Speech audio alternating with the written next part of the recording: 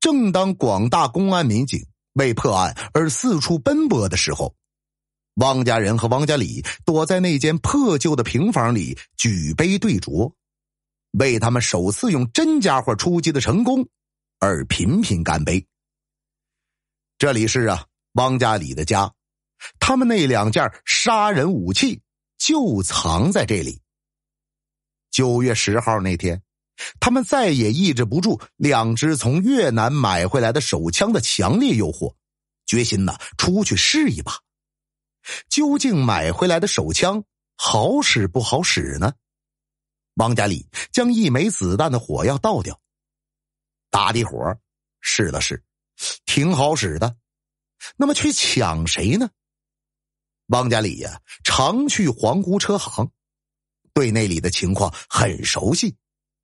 如果一辆汽车交易成功，卖车人就能得到十几万甚至几十万的现金。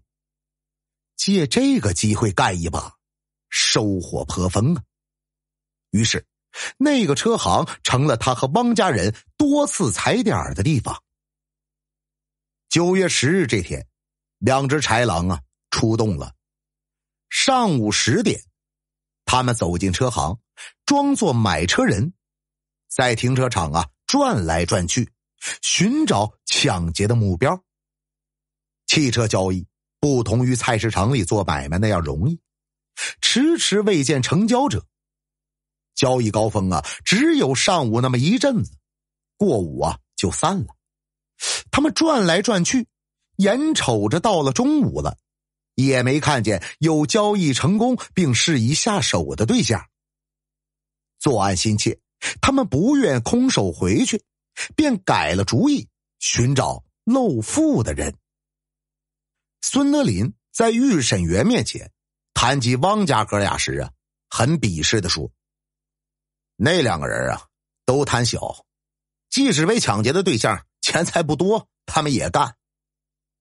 的确，可以设想，如果这次抢劫行动有胆大心细的孙德林参加的话。”他是啊，不大可能赞成把田晓光、田明红作为对象的，也难怪案发后刑侦技术人员不能理解，犯罪分子何以仅仅为了一枚戒指和一条手链，竟连发六弹，置两人于死命呢？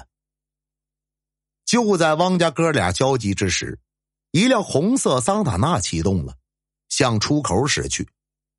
汪家里一见，知道这辆车的老板身上戴着镶蓝宝石的金戒指和很粗的手链，不禁呐怦然心动，便追了过去，笑着对车里的两个人说：“嘿，我们厂里的领导要买一辆车，请你们把车开过去看看行不行啊？即使不买，也不让你们白跑，给你们二百块钱。”田晓光将这辆桑塔纳。从河南买来呀，已经一个多月了，还没有脱手，压着一大笔钱，心里很着急。此刻听汪家里这么一说，他和田明红啊交换了一下目光，就同意了，让汪家里汪家人上了车，坐在后排座两个匪徒利用对方急于卖车的心理，很容易啊，把他们骗走了。桑塔纳开得很快，沿着魏公街向于洪区南塘的总机场，一个他们很熟悉的偏僻的地方驶去。当车开到总机场南面的马路时，汪家里见四周没人，用胳膊轻轻碰了下汪家人。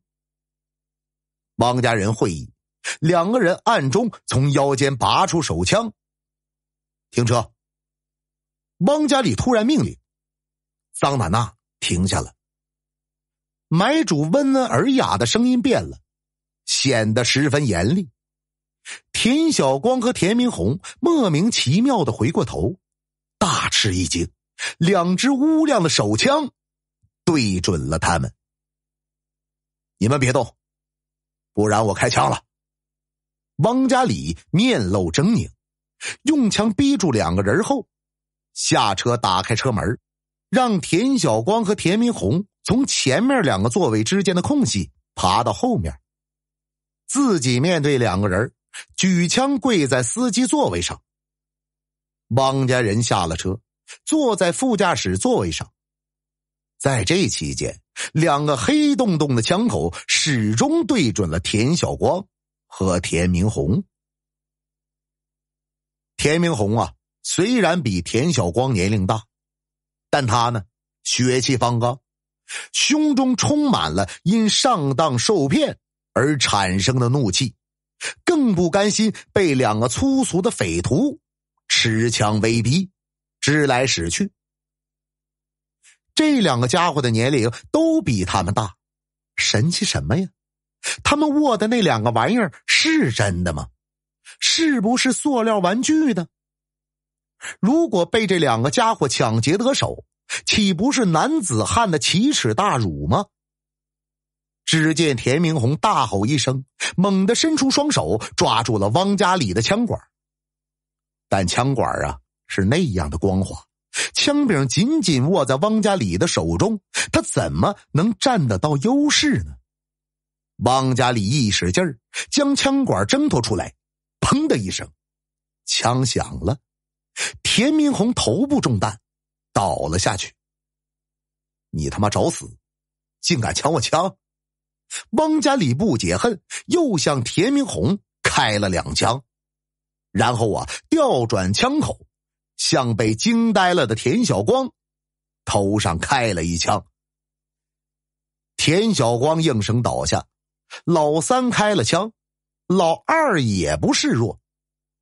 借这个机会呀，大过枪瘾，也扣动扳机，砰的一声，他伸手又抓起老三的枪，心想啊，他的子弹多，用他的打，便向那两个已经毙命的人。补了几枪，艳阳之下，一连串枪声回荡在沈城西部的上空。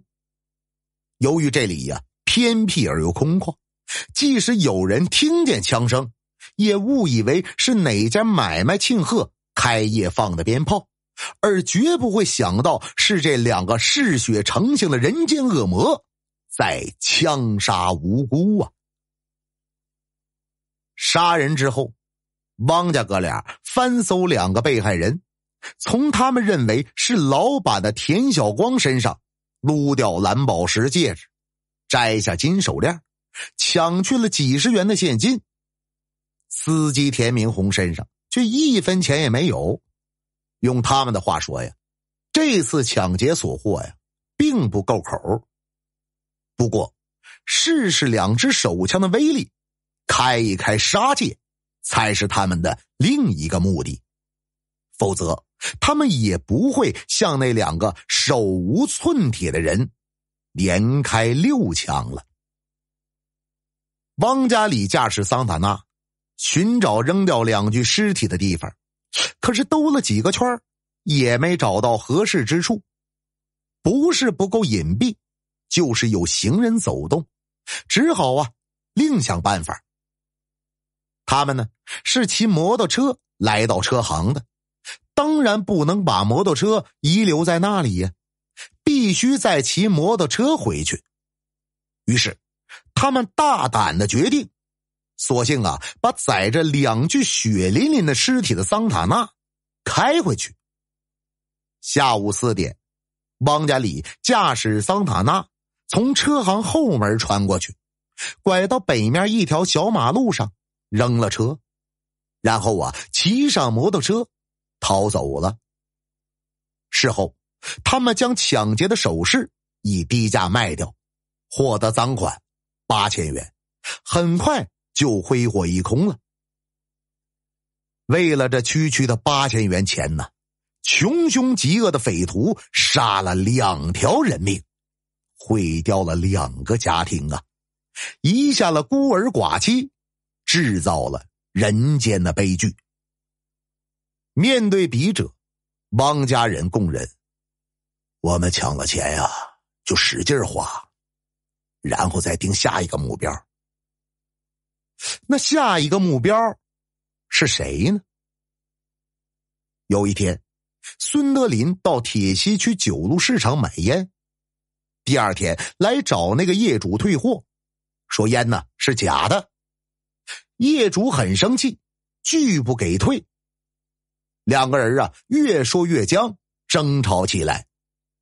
孙德林恶狠狠的剜了业主一眼，心说：“我他妈叫你硬，老子非给你点厉害尝尝不可。”汪家人汪家里自从有了强武器增威天勇，以后哥俩出去抢劫呀，不必再找孙氏兄弟了。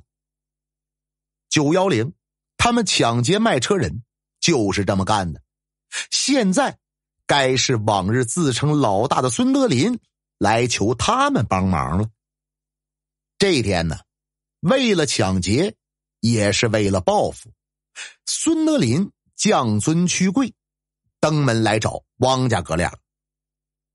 孙德林说：“九渡市场那边有个卖烟的，挺有钱。”汪家哥俩干了九幺零的案子后啊，觉得不解渴，正要出去再干一把。孙德林提供的信息呢，与他们想的不谋而合，便到九渡市场去踩点了。汪家里走进市场。按照孙德林的指引，看见了那位卖烟的业主，他的烟摊啊很大，生意兴隆，估计呀很有钱。业主呢是个中年男子，身材较高，体态矫健，怪不得他不惧孙德林。此刻呀，他忙里偷闲，正和几个人玩扑克呢。当天晚上收摊后。他骑着一辆崭新的摩托车回家，经过菜市场时买了些菜。这位业主怎么也不会想到，他正在被两个惯匪在后面跟踪，就是骑摩托车的汪家里和骑自行车的孙德林。